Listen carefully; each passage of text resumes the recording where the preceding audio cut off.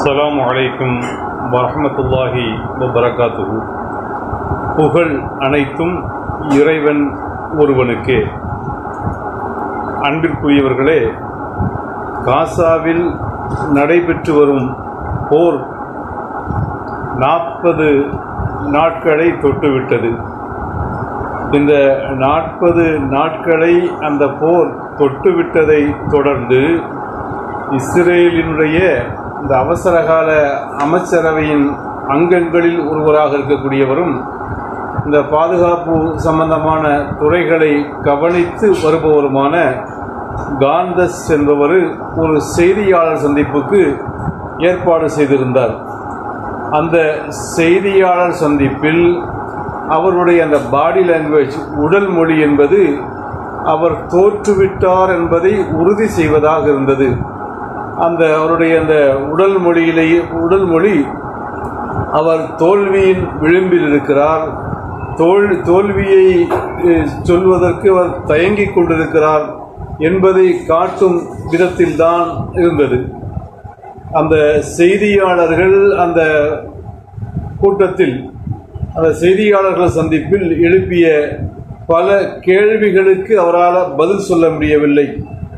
அவர் கேள்விகளை நிருபர்கள் எழுப்புகின்ற பொழுது பதில் சொல்வதற்கு பதிலாக நிருபர்கள் மீது எரிந்து எரிந்து விழுந்தார். சப்தங்களை உயர்த்தி உயர்த்தி பேசினார்.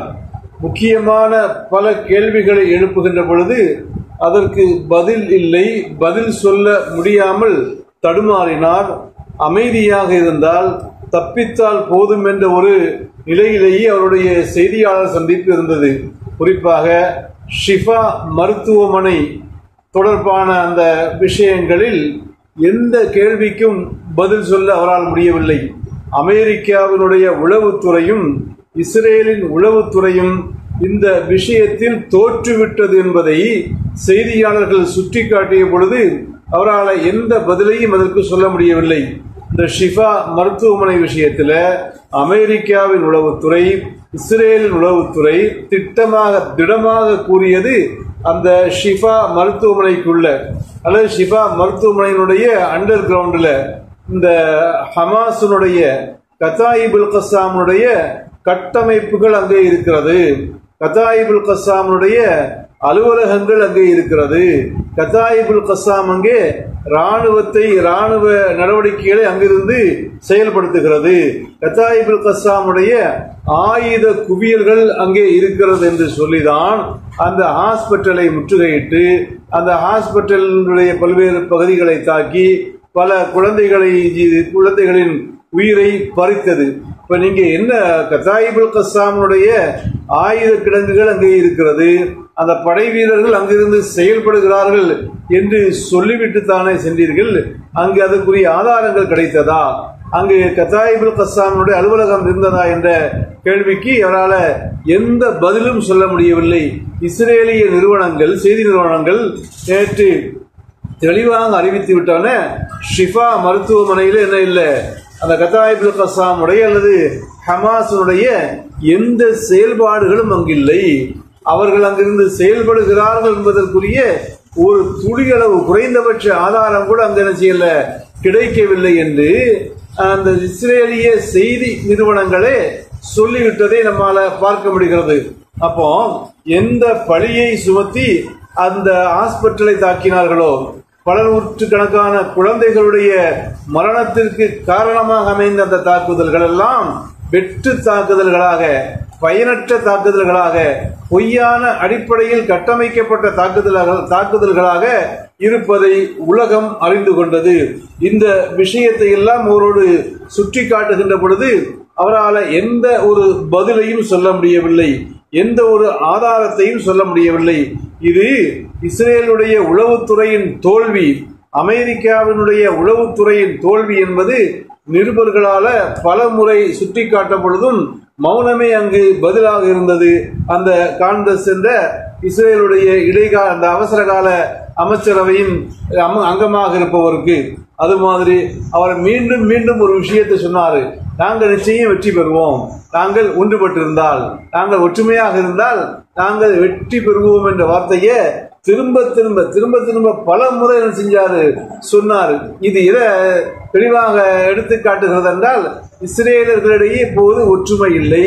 போரின் ஆரம்பத்தில் அவர்கள் எல்லோரும் அந்த போரினுடைய அமைச்சரவையில் இருக்கக்கூடிய எல்லோரும் இணைந்து போரை ஆரம்பிச்சாங்க.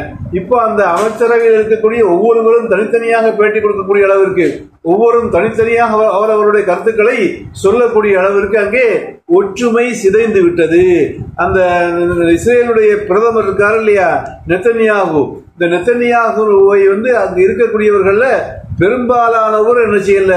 விரும்பல. இவருடைய நடைமுறையை அவங்க ஏற்றுக்கொள்ளல. இவருடைய போக்குகளுக்கு அவங்க ஆதரவு தரவில்லை. அப்ப அந்த இஸ்ரே இஸ்ரே இஸ்ராயலுக்குள்ளேயே நெத்தனியாகவை எதிர்த்து கடுமையான போராட்டங்கள் தற்போது நடைபெற்று வருகிறது. இப்ப இதையெல்லாம் பார்க்குகின்ற பொழுது அந்த அமைச்சர் அந்த அவர் செய்தியாளர் சந்திப்புல திருப்பி திருப்பி ஒற்றுமை ஒற்றுமை என்று சொன்னதை பார்க்குகின்ற பொழுது இஸ்ரவேலர்களுக்கு மத்தியிலேயே ஒற்றுமை அங்கு சிதைந்து விட்டது. ஒவ்வொருவரும் தனித்தனி திசைகளிலே தற்போது பயணிக்க ஆரம்பித்து விட்டார்கள் என்பதை காட்டுகிறது. அது மாதிரி இந்த செய்தியாளர் சந்திப்பு பலஸ்தீன போராளிகளுடைய நம்பகத்தன்மையையும் உறுதி செய்திருக்கிறது. அந்த பிரிட்டிஷனுடைய பிரிட்டனுடைய சில மீடியாக்கள் ஒரு செய்தியை வெளியிட்டிருக்கிறது. கிட்டத்தட்ட அதாவது இஸ்ரேலுடைய நம்பகத்தன்மை உலக அளவில் கேள்விக்குறியாகிவிட்டது. இந்த போர் ஆரம்பித்ததிலிருந்து இதுவரையிலும் நூற்றுக்கும் அதிகமான பொய்களை சொல்லி நூற்றுக்கும் அதிகமான புரட்டுகளை சொல்லி உலகத்தை இந்த இஸ்ரேல் ஏமாற்றி இருக்கிறது என்று பிரிட்டனுடைய சில செய்தி ஊடகங்கள் செய்திகளை வெளியிட்டிருக்கிறது. அதே சமயத்தில் அந்த பாலஸ்தீன போராளிகள் மீது மீது உண்டான நம்பிக்கை வலுப்பெற்றிருக்கிறது அவர்கள் எதை சொன்னாலும் செய்தாலும் சரியாக சொல்கிறார்கள் செய்கிறார்கள் சொல்லக்கூடிய விஷயங்களுக்கு ஆதாரங்களை வெளியிடுகிறார்கள் என்று உலக அளவில் ஒரு நம்பிக்கை ஏற்பட்டிருப்பதாக யாரு அந்த பிரிட்டனுடைய செல்- செய்தி ஊடகங்கள் சொல்லிக் கொண்டிருக்கின்றன. குறிப்பாக அந்த ஷிஃபா மருத்துவமனையில் இவங்க நடந்து கொண்ட விதம் இருக்கா இல்லையா? அதாவது அந்த ஷிஃபா மருத்துவமனைக்குள் நுழைந்து அங்கிருந்து மருந்து குழுவர்களை எல்லாம் செய்து அழித்து அங்கிருந்த ஆபரேஷன் தியேட்டரை எல்லாம் அழித்து அங்கே எல்லாம் சோதனை என்ற பெயரில் நாசப்படுத்தி பல குழந்தைகளுடைய உயிர்களுக்கு என்ன செய்து உலை வைத்த அந்த நிகழ்விற்கு பிறகு இஸ்ரேல் வந்து என்ன செய்து முழுமையாக தோற்றுவிட்டது. இஸ்ரேல் எதை நினைத்து அங்கே சென்றதென்றால் இங்கே நம்ம போயிட்டு ஹமாஸுடைய ஏதாவது அங்கே இது ஆயுதங்களையோ ஹமாஸ் சம்பந்தப்பட்ட ஏதாவது விஷயங்களோ அது கிடைத்து விட்டால் நாங்கள் பிடித்து விட்டோம் இதோடு போரை முடித்து விடலாம் என்ற ஒரு எண்ணத்துல தானே போர் தொடர்ந்து செய்ய தொடர்ந்து நடத்துவதற்குரிய வலிமை சிலண்டப்ப என்ன இல்லை? இல்லை. முடித்து விடலாம்ங்கிற இதில் தான் போச்சுது. ஆனால் அங்கே எந்த ஆதாரமும் கிடைக்கவில்லை என்ன கிடைக்காததை தொடர்ந்து இஸ்ரேல் மிகப்பெரிய கவலைக்குள் ஆழ்ந்து விட்டது. இந்த போரை அதை இஸ்ரேல் தற்போது போரை நடத்து நடத்தி கொண்டிருந்தாலும் அதை நிறுத்துவதற்கு விரும்புகிறது. எப்படி நிறுத்துவது? அதற்கு ஏதாவது காரணம் வேண்டுமே என்று தவித்துக் கொண்டிருக்கக்கூடிய காட்சிகளைத்தான் நாம் தற்போது தற்போது செய்ய முடிகிற செய்திகளின் மூலமாக நம்மால் அறிய முடிகிறது. அது மாதிரி இந்த இஸ்ரேல் மிகப்பெரிய சேதங்களை தொடர்ந்து சந்தித்து வருகிறது.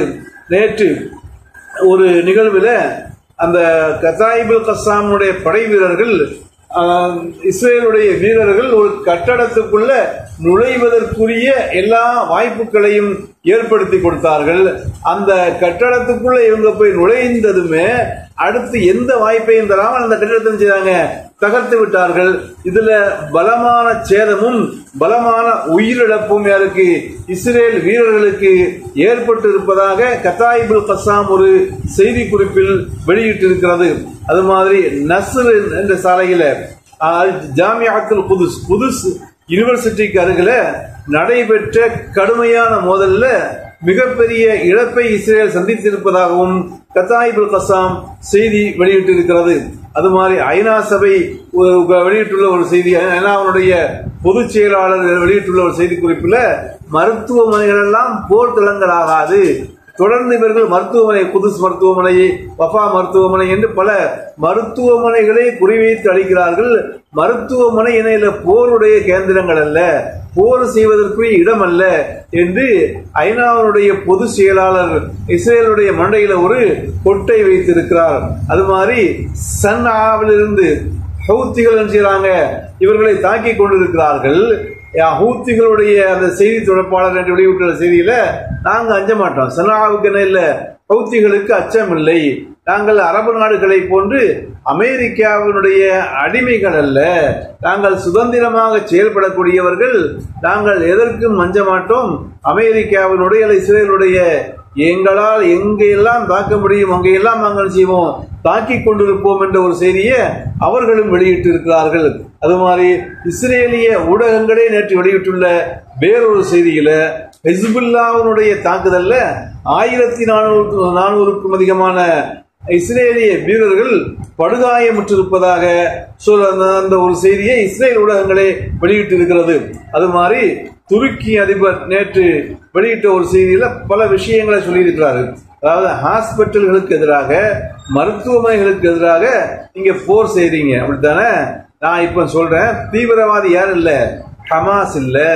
கதாயிபுல் கசாம் இல்ல. இஸ்ரேலுடைய அரசு தீவிரவாத அரசு.